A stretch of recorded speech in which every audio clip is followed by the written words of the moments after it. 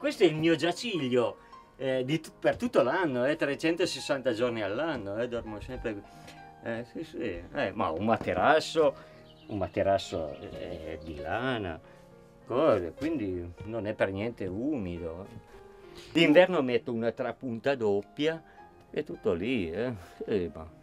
Appunto, come dicevo, a me piace vedere, appena mi sveglio, vedere, ne vedo solo un pezzo di cielo, sai, così mi rendo conto. Oggi piove, oggi nevica, oggi fa bello. Io a volte al mattino magari mi sveglio, cioè non so, vado nell'orto, faccio scalzo per curarmi i piedi sulla rugiada, mi faccio per un quarto d'ora avanti e indietro, vedo, non so, l'albero che ha messo i fiori, l'orto che è cresciuto, dico, ma questo è un miracolo, cioè, è, cioè la vita è bella, la natura è bella, è una cosa...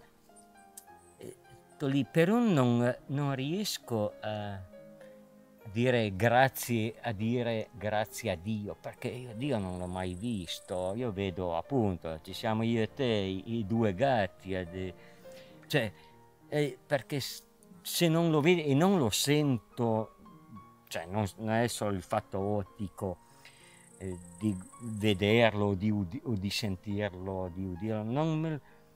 Eh, eh, niente, io dico, la vita è una cosa, una cosa bella, tutto lì, eh, perché cioè, una cosa miracolosa, anche la vita di noi esseri umani, degli animali, della vegetazione, tutto lì, però mh, mm, il cielo, sì, grazie al cielo, io a volte dico, molta gente dice grazie a Dio, io non, certamente non, io dico grazie al cielo, perché poi è il cielo che decide molte cose, tipo sulla natura, vediamo appunto, eh, la pioggia è utile, il sole è utile, la rugiada, la neve è utile, perché quando nevica previene, ripara dal gelo, anche la neve